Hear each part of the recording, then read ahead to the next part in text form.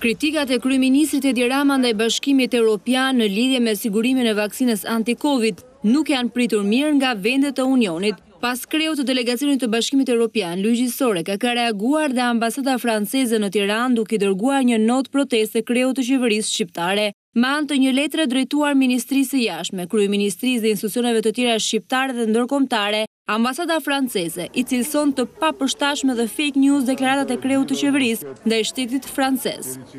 Kryeministri Edi Rama ngriti pyetjen se pse Franca duhet të ketë një stok vaksinash që nuk mund t'i përdorë në vend që t'i ndajë me të tjerët. Përveç natyrës së pavërtetë të këtij informacioni, por që mund të jetë i ndjeshëm për mendjet e njerëzve, Ambasada e konsideron se nuk është e përshtatshme të sulmosh në këtë mënyrë nominative një vend mik dhe aleat. Në vijim të letrës së saj, ambasada e sqaron qeverinë shqiptare se Bashkimi Europian është donatori më i madh në Shqipëri, me më shumë se njëqind milionë euro në sektorë të ndryshëm.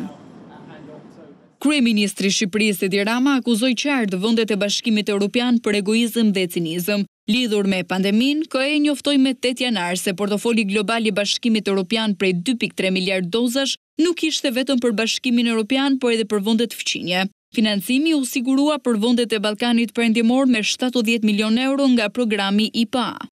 Kryeministri Rama në deklaratat publike është shprehur se BE braktisi Shqipërinë duke mos i ndarë vaksinat e siguruara me vendet e Ballkanit Perëndimor. Madje për këtë arsye, Rama theksoi se rruga e vetme për Shqipërinë që të siguronte vaksinën anti-Covid ishte të takonte drejtpërdrejt CEO-n e Pfizer-it.